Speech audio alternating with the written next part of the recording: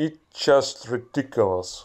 Look at it on a muddy bike, pants and shoes. These fenders are complete joke, not designed for fast driving. It is time to think about an alternative solution. It's uh, not possible to buy an off the shelf solution, so you have it with it yourself. Namely, uh, it is time to learn how to fiberglass. What I have never done before, the plan is to make an uh, wheel arch. The idea comes from a Russian electric cyclist named uh, Vaz R7 and his well recumbent electric bike. And he has used just the wheel arch solution I want. Uh, for the mold, I use gypsum boards obtained completely free of charge. The surplus from uh, construction works. The first thing I measure is how wide and long the arch would be. I will definitely put hard margin of a few centimeters for safety reasons. I don't want a situation where the arch could bump against the wheel while driving, thus causing mm. an accident.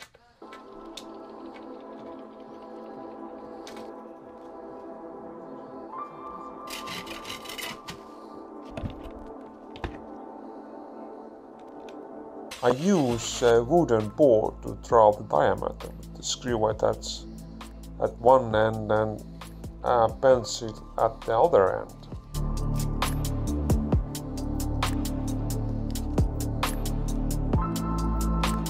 Total size of 34 centimeters, which makes the total length of the arch 68 centimeters.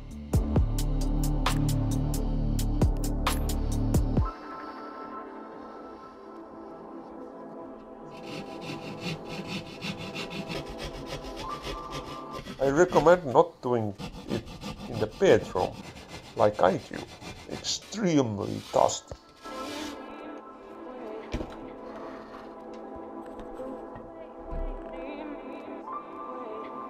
It will become a stencil for cutting other blades.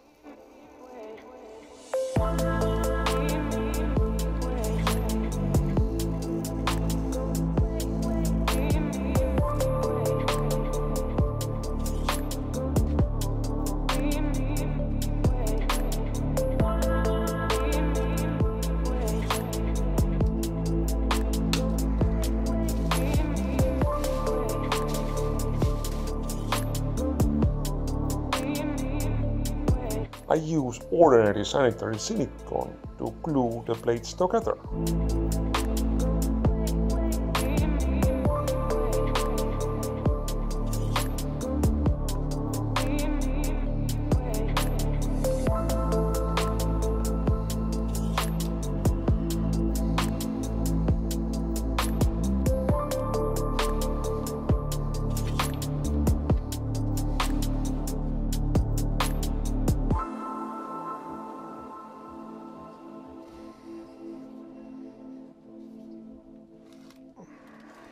I put the weight on the mold and wait until the next day.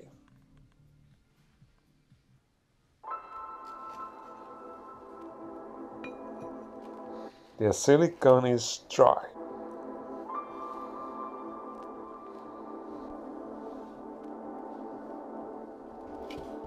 I'm trying to get an idea of what it's going to look like.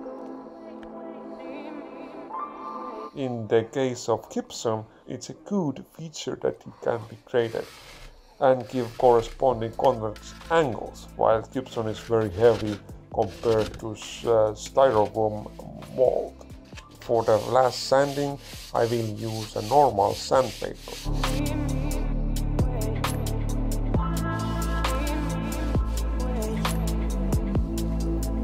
I use Aquastop which traps dust on the surface.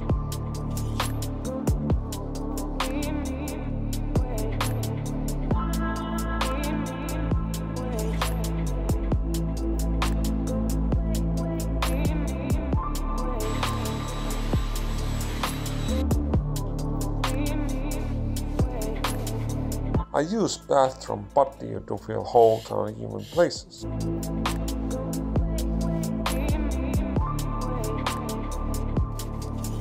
Again, on the third day I sand and apply another layer of uh, Aquastop. I use uh, polyester resin uh, for fiberglassing, which is uh, cheap but extremely smelly and toxic. I don't do it in my bedroom or or on the balcony. The smell is just so bad and makes my neighbors angry.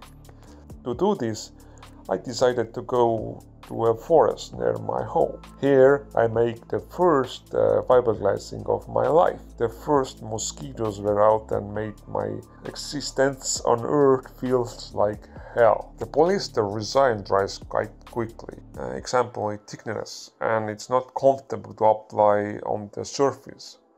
So I have to do it fast. The choice of fiberglass was completely arbitrary for me. The next day the mold dries up beautifully. Of course, a few small pieces of nature are tried into the mold.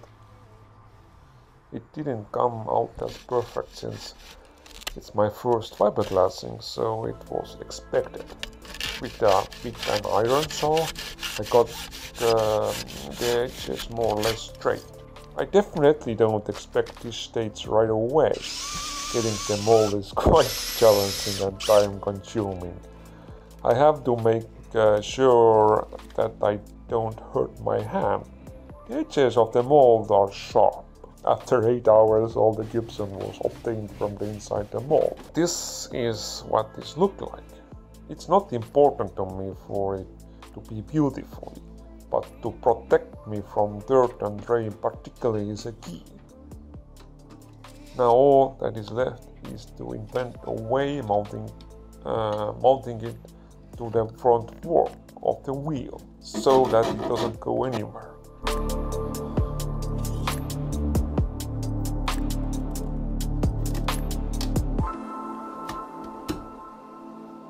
I bought uh, some aluminium profiles for mounting the arts from the construction store. Mm-hmm.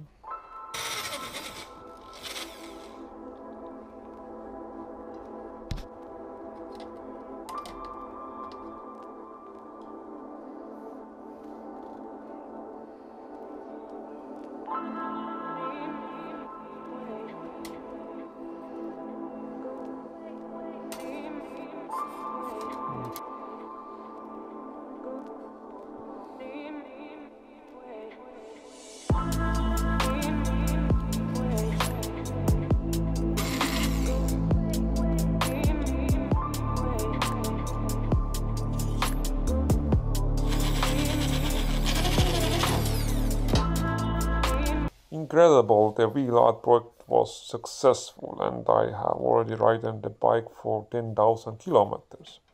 The bike is clean, the clothes are clean and it definitely gives the bike a unique look. However, I definitely haven't fully finished fiberglassing, making a battery box, rail wheel arch and so on.